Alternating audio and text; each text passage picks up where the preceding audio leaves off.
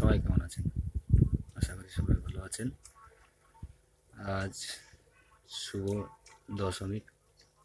তো সকলকে শুভ দশমীর বা বিজয়া দশমীর সাগর, সাদর অভিনন্দন, ভালোবাসা।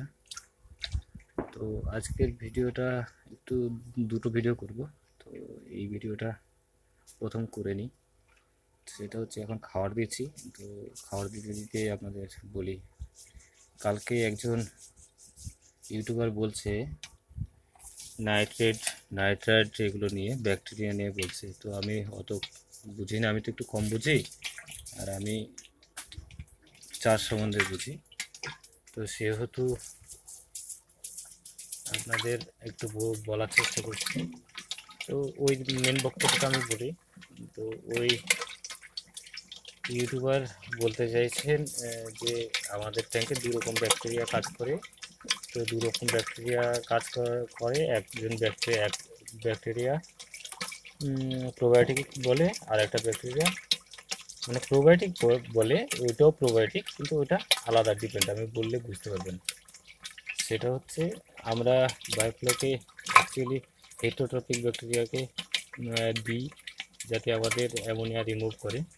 তো ওই দাদা বলতে চাইছেন যে আমাদের একুশ দিন পর্যন্ত বিভিন্ন প্রসেস করে অ্যামোনিয়া কমাতে হয়।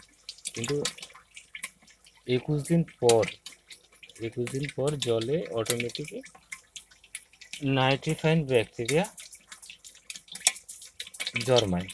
হ্যাঁ এটা ঠিক বলেছেন যে একুশ দিন পরে অটোমেটিক নাইট্রিফাইন ব্যাকটেরিয়া জন্মায়। তো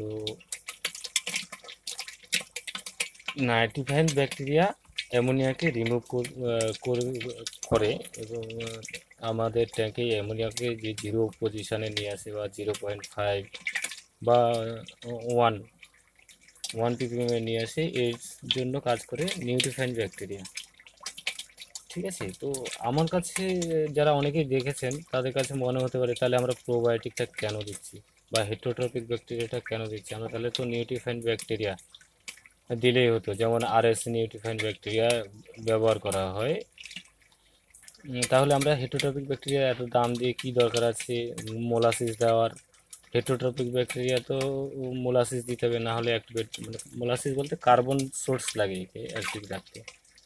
তাহলে আমরা হেটোট্রপিক ব্যাকটেরিয়া এই হাজার বারোশো টাকা কেজি, এক কেজি হেটোট্রপিক ব্যাকটেরিয়া কেনার দরকার কি?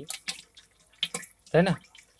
আর তাহলে আমার মোলাসিস দেওয়ারও কী দরকার আছে? নিউট্রিফাইন্ড ব্যাকটেরিয়া তো পুকুরের জলে হয়ে যাবে।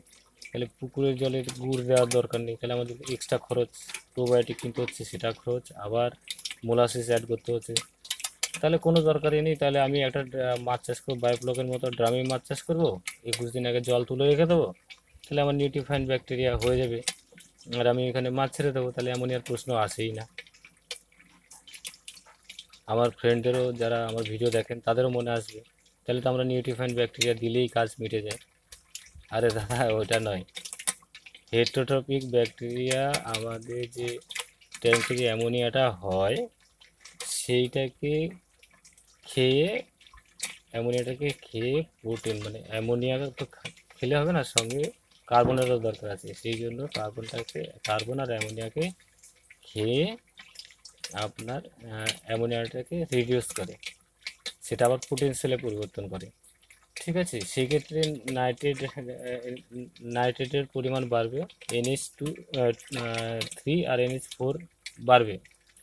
কিন্তু সেটা আবার আমাদের যে এয়ার পাম্প আছে এয়ার পাম্পের মাধ্যমে এটা মানে উপরে উঠে চলে আসবে, বায়ু বায়ুমণ্ডলে মিশে চলে যাবে।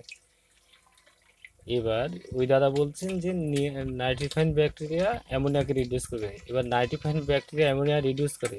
কিন্তু নাইট্রিফাইন ব্যাকটেরিয়া অ্যামোনিয়া রিডিউস করলে প্রোটিন সেল মানে আমরা যে বলছি যে আপনার সিক্সটি পার্সেন্ট খাওয়ারে এক কেজি মাছ হয়ে যাবে বা সেভেন্টি পার্সেন্ট এক কেজি মাছ হয়ে যাবে।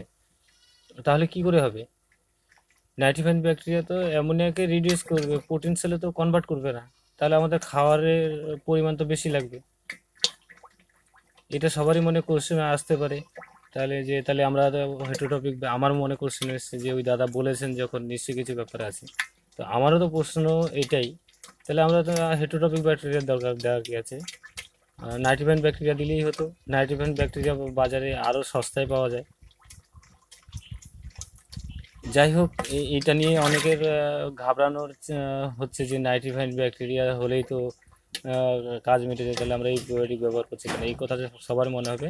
নাইট্রিফাইন ব্যাকটেরিয়া মাথা নেওয়া মাথায় নেওয়ার কোনো যুক্তি নেই। আর নাইট্রিফাইন ব্যাকটেরিয়া যদি অ্যামোনিয়া রিডিউস করবে, তাহলে আমরা একুশ দিন আগে জল তুলে রাখলে, একুশ দিনের মধ্যে তো নাইট্রিফাইন ব্যাকটেরিয়া যে কোনো জলে জন্মে যায়। তাহলে আমাদের হেটোটপিক ব্যাকটেরিয়া দেওয়ার দরকার কি ছিল? যাই হোক হয়তো আমি অনেকটা বোঝাতে পারিনি বা বোঝাতে চেষ্টা করেছি। তো অনেকের মেন বক্তব্য হচ্ছে, অনেক বন্ধুর মনে মনে হবে যে, না ওই কথাগুলো যারা দেখেছেন ভিডিওটা, তাদের মনের মধ্যে এই প্রশ্নটা আসতেই পারে যে, তাহলে আমরা কি করব? ওইসব কিছুই না, নাইট্রিফাইন, ব্যাকটেরিয়া মাথা থেকে, চিন্তা মাথা থেকে তুলে দিন। আর হেটোটপিক ব্যাকটেরিয়াই এমন একটি আপনার রিমুভ করে, ওরা অ্যামোনিয়াটাকে খেয়ে প্রোটিন সেলে কনভার্ট করে দেয়। এই জন্যই বায়োফ্লক পদ্ধতিটা। আর যদি নাইট্রিফাইন ব্যাকটেরিয়াই যদি সব কিছু করে দিত, তাহলে আমরা বায়োফ্লক বলতাম না। সেটা আর এর মধ্যে হয়ে যেত। জলকে ক্লিয়ার করলেই হয়ে যেত, আর নাইট্রিফাইন ব্যাকটেরিয়া একটা ড্রামের মধ্যে অক্সিজেন দিয়ে রাখলে সেখানেই হয়ে যেত। আর আপনি এইটা অনেকেই জানবেন ভিডিওটা বড় হয়ে যাচ্ছে। হেটোট্রপিক ব্যাকটেরিয়া প্রত্যেক তিরিশ মিনিট, চল্লিশ মিনিটের মধ্যে আপনার ডবল হতে থাকে। আর নাইট্রিফাইন ব্যাকটেরিয়ার জন্ম, যদি একটা নাইট্রিফাইন ব্যাকটেরিয়া আপনার ট্যাঙ্কে থাকে, সেই নাইট্রিফাইন ব্যাকটেরিয়া থেকে দ্বিগুণ হতে হলে তাকে কমসে কম চব্বিশ ঘণ্টা সময় লাগবে মানে একদিন পরে বাড়বে। তাহলে একুশ দিন পরে আর কটা নাইট্রিফাইন ব্যাকটেরিয়া হবে? যাই হোক, এটা নিয়ে অনেক প্রশ্ন আছে, এটা জাস্ট আমি বোঝানোর চেষ্টা করেছি। যদি কোনো কিছু বুঝতে অসুবিধা হয় কমেন্ট করবেন, জানাবেন। থ্যাংক ইউ আর বিজয় দশমীর শুভেচ্ছা সবাই নেবেন। बाय जय श्री कृष्ण जय श्री राम